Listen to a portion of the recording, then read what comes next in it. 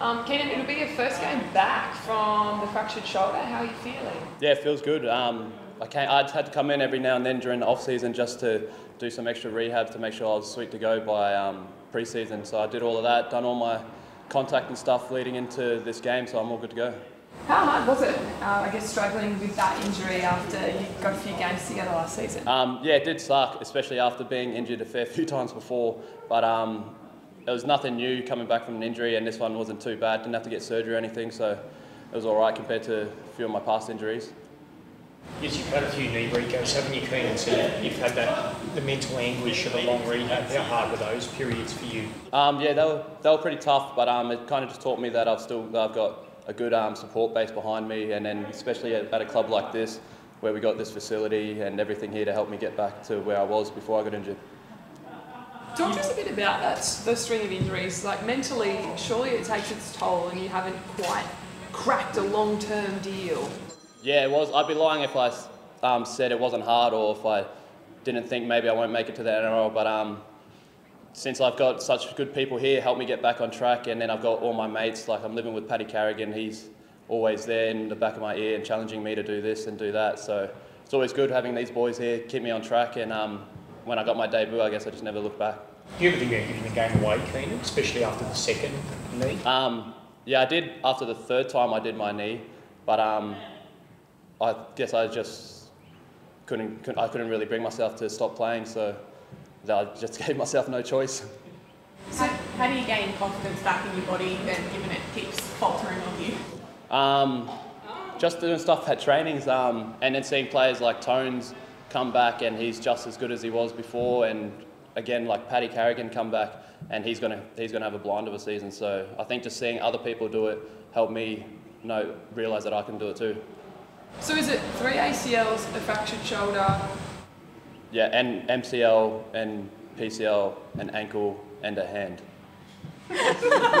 All before I was 24. Yeah. What, what's it like getting out of bed in the morning? Does it every, yeah, no, I, I, might, I just turned 25 last month and I feel 45. So it's Haven't thought of a new career? yeah, no, I think I should start thinking about one. What, what was rock bottom, Keenan?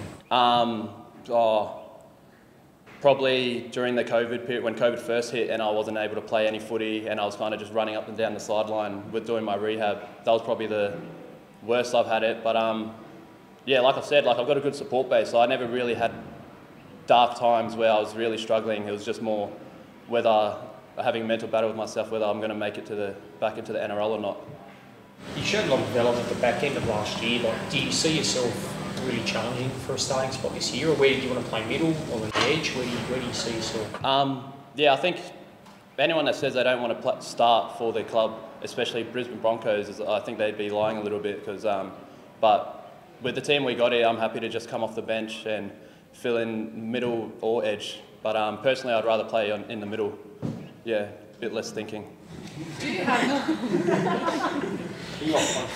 Do you have? Ah, no, two more years. Oh, this year and, and then one more. So it's probably good to have that security, mate. Yeah, yeah, yeah, that is good.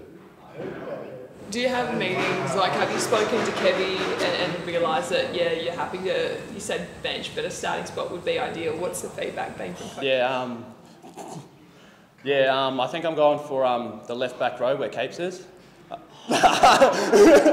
no, um, yeah, I've spoken to Kev. He's um, kind of just told me where he sees me, but he's still every session challenging me to push for that starting spot alongside Payne and Paddy and stuff like that. So yeah. has Paddy tried to use you in a case study for his physiotherapy degree yet?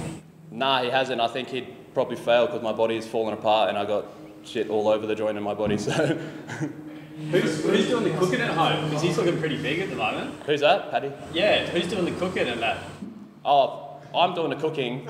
Don't say if Brandy Piakura says he's doing any of the cooking, he's lying.